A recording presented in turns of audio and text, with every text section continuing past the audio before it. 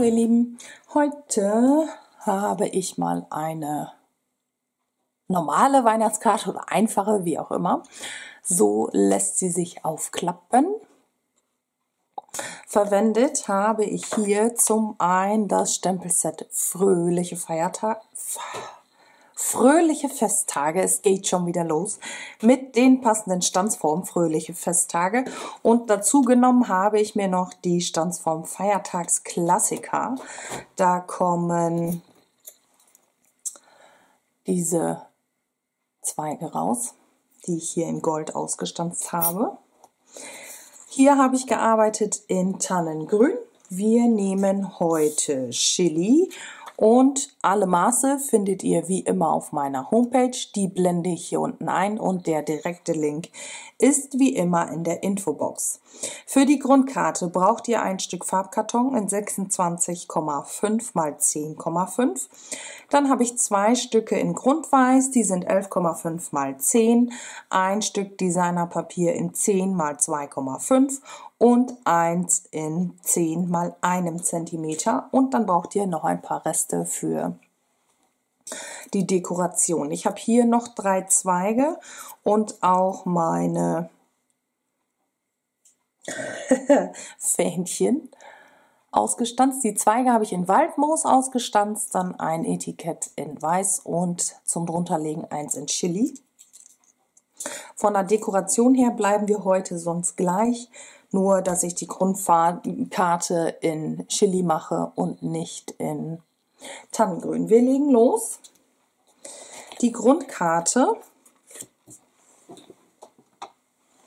falzen wir uns an der langen Seite bei 12 cm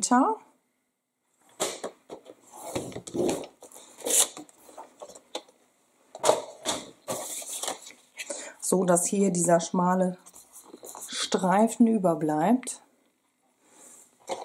Da ist mein Falzbein. Die kann dann erst an die Seite. Wir stempeln jetzt erst. Und zwar den großen Zweig auf ein Reststück. Den Zweig selber stempel ich in Tannengrün.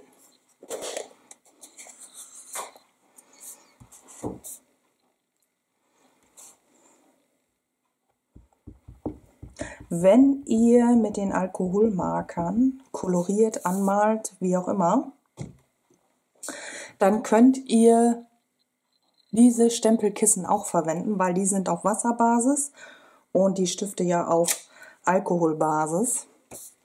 Dementsprechend verträgt sich das untereinander und es verläuft nicht.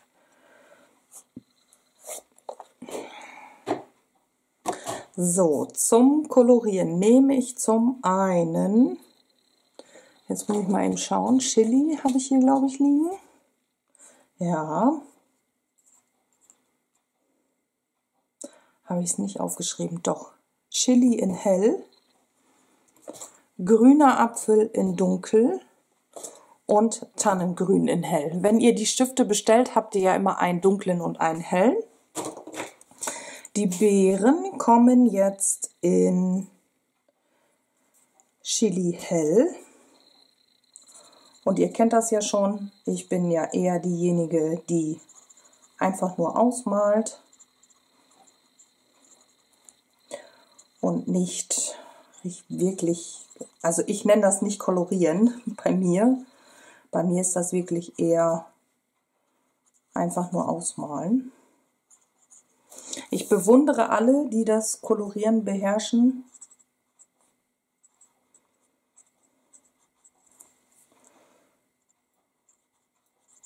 Also was ich da manchmal so sehe, da denke ich mir immer, wenn du das auch mal könntest. So, die glatten Blätter mache ich in grüner Apfel.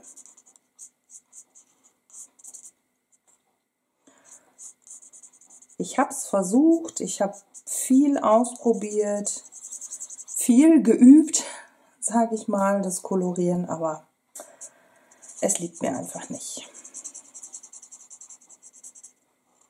Aber man kann ja auch nicht alles können. Oder ich sag mal so, man muss auch nicht alles können.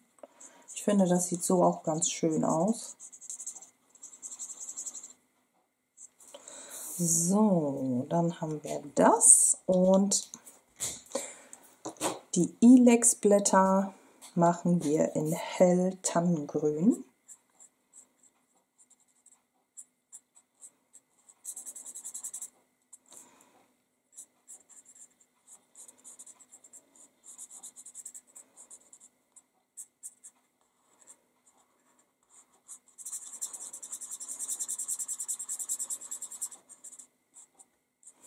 So, dann geht es hier weiter.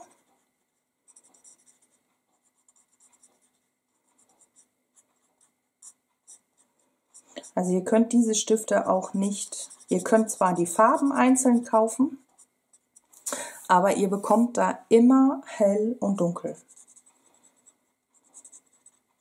Wir hatten das mal eine Zeit lang, da gab es die, die auch einzeln, also hell und dunkel einzeln aber das war nicht lange. so, einmal ausgemalt. Dann nehmen wir uns, wo habe ich es hingelegt? Da. Das Fähnchen in Weiß, da kommt in Chili, nee, das ist Glutrot, da ist Chili, kommt Frohes drauf. Möglichst mittig. Und dann haben wir das Stempeln auch schon erledigt. Das kann einen kurzen Moment wieder an die Seite. Wir nehmen uns jetzt das erste Stück in Grundweiß, legen uns das Designerpapier da drauf, noch nicht kleben, nur drauflegen. Ich sage euch auch gleich warum. Und jetzt mache ich mir hier unten so in etwa eine Markierung denn ich möchte dieses Stück noch prägen. Damit wir das dünne Designerpapier aber besser aufkleben können, präge ich dieses Stück nicht mit. Und prägen werde ich das Ganze mit dem Prägefolder Holzstruktur. Dazu lege ich mir das dann hier unten einfach bis zur Markierung. Lege ich das ein. So in etwa, also man man sieht das ja hier, dass das nicht bis zum Ende geht. Wir haben da ja noch so ein schmales Stück. So lege ich das ein und dann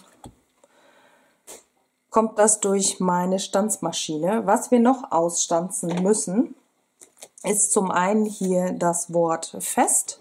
Da habt ihr ja die passende Stanzform und diese beiden Zweige. Das müssen wir alles noch ausstanzen. Das Ganze mache ich eben ohne euch und dann geht's auch gleich schon weiter. So, meine Lieben, ich habe soweit alles ausgestanzt. Hier sind die Stanzformen noch drauf. Das findet ihr im Übrigen aktuell im Online-Shop. Da haben wir ein Päckchen mit Gold und Silber und das ist selbstklebend. Deshalb habe ich die Stanzform auch noch drauf gelassen. Wir kümmern uns aber erst um die beiden Streifen Designerpapier. Also ich habe hier jetzt mein Element für vorne nur zum Teil geprägt.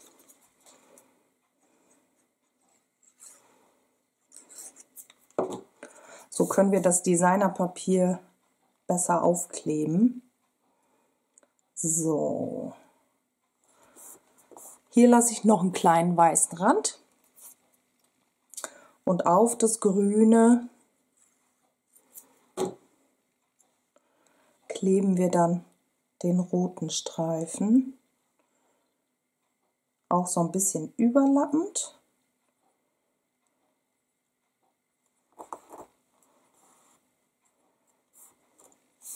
So, und dann fangen wir mit der Deko an.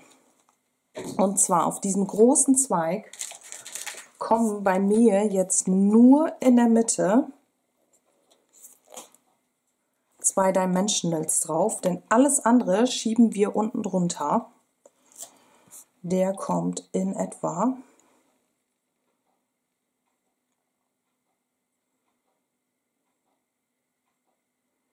ja noch ein bisschen steiler. So hierhin. Als nächstes nehme ich mir dann die Zweige in Waldmoos. Da kommt einer dahin. Einer hier unten. Und einer kommt hier raus, beziehungsweise etwas höher. Unser frohes muss da ja noch hin.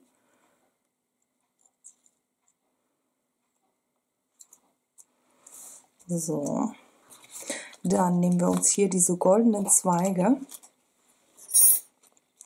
und da bleibt manchmal, nicht immer, aber manchmal, ja doch hier. Hier sieht man es, diese kleinen Elemente bleiben da jetzt drin stecken. Das finde ich aber nicht schlimm. Ich klebe die einfach mit auf. Und da kommt einer hier hin.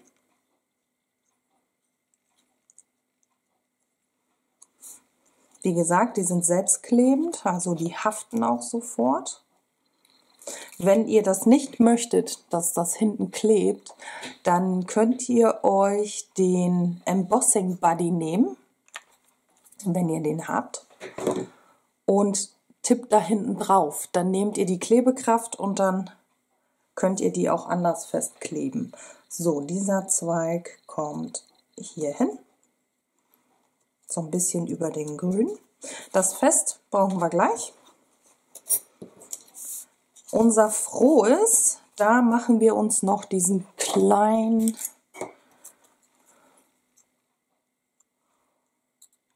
das kleine Fähnchen drunter. Das schneide ich einfach durch. Ein bisschen Flüssigkleber drauf. Und ich orientiere mich jetzt an diesen Punkten vom Ausstanzen. das klebe ich in etwa so, dass ich noch drei Punkte hier oben, das seht ihr wahrscheinlich nicht, dass ich da noch drei Punkte sehen kann und natürlich möglichst gerade. Dann drehen wir es um und kleben das an der anderen Seite. Auch so. Dann kommen da Dimensionals drunter.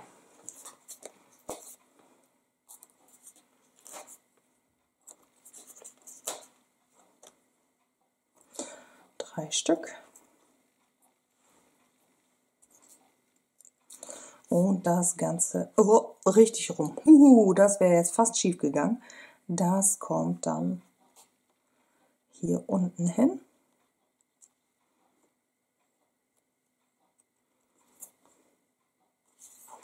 Dann habe ich mir noch dazu genommen Pailletten in Pastelltönen und zwar diese goldenen.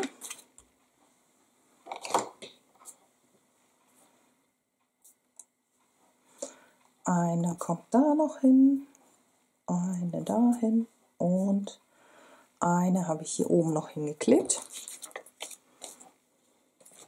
Und das lassen wir jetzt einen kurzen Moment trocknen und legen das an die Seite. In der Zeit kümmern wir uns um unsere Grundkarte und irgendwie habe ich mich hier verschnitten. Okay, das schneide ich später ab. Wir nehmen uns jetzt die Buchstaben und ich nehme mir da als erstes na, das F. Das ist natürlich auch selbstklebend jetzt und wir haben das ja aufgeklappt und das positioniere ich mir hier als erstes.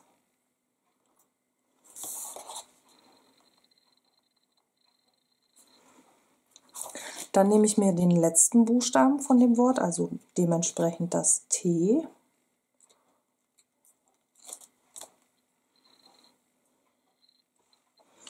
Das positioniere ich mir unten. Bin ich noch im Bild? Ja.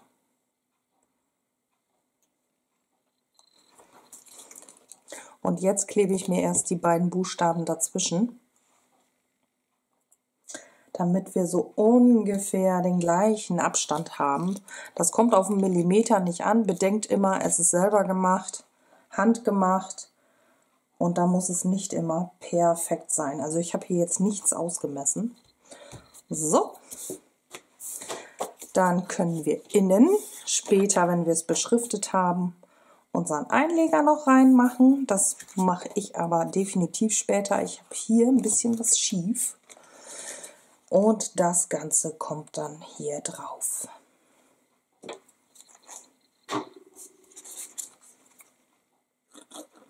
Das habe ich jetzt flach aufgeklebt.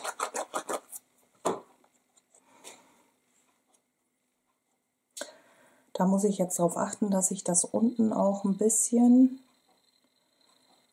also ich habe Höhe oben jetzt einen etwas größeren Abstand, weil ich hier schräg gekommen bin mit dem, mit dem Schneiden. Da muss ich dann noch was nachschneiden. So.